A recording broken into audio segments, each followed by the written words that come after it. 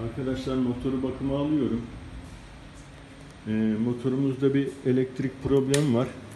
Kontak açıkken frene basınca farlar yanıyor. Bunu çözüme ulaşacağız. Birçok arkadaşımızda e, buna benzer problemler var. Onun sebebini araştıracağım ve e, sent ayarı yapmaya çalışacağım. Adım adım paylaşmaya çalışacağım. Motorumuz 2016 R3 Evo. Arkadaşlar frene basınca kısa farların yanma olayını çözdüm. Ee, bu arka stopa giden kablolardan e, kedi gözü ve çanta için ışık almıştım. Bunlar soyulmuş, yanmışlar ve e, frene bastığında fren lambası kısa dev, e, kısa farlara elektrik veriyor. Buradan kısa devre yaptığı için. Bunu tekrardan izolasyonunu yapacağım. Bu sorunu çözmüş olacağız. Farla ilgili beynimizde bu Mehmet Miyasoğlu abimizin e, farın direkt yanmasıyla alakalı kontağı açınca çalışmaya başlamadan yanmasıyla alakalı bir problem vardı. E, muhtemelen bundan kaynaklanıyor. Çünkü bunu çıkarttığın zaman farlar çalışmıyor.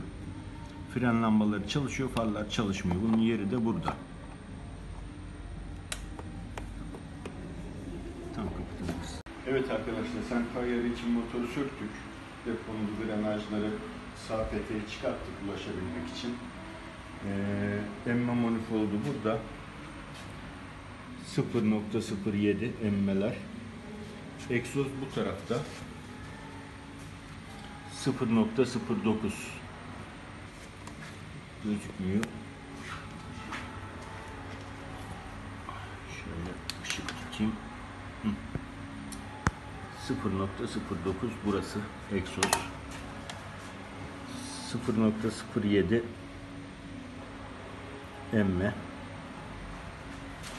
Bunları sökerken bir arkadaş eee külbülatör için eee conta yok demişti. Şunu da göstereyim. Bunun üstünde o-ring lastik conta var. Ama ayrıyetten siyah e, sıvı conta sürmüşler buna. Ben de toplarken yine sıvı contayla toplayacağım. Bakalım problem olacak mı?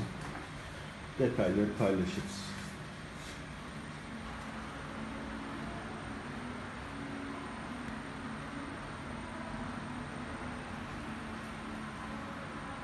Hmm. Kapamıyorum.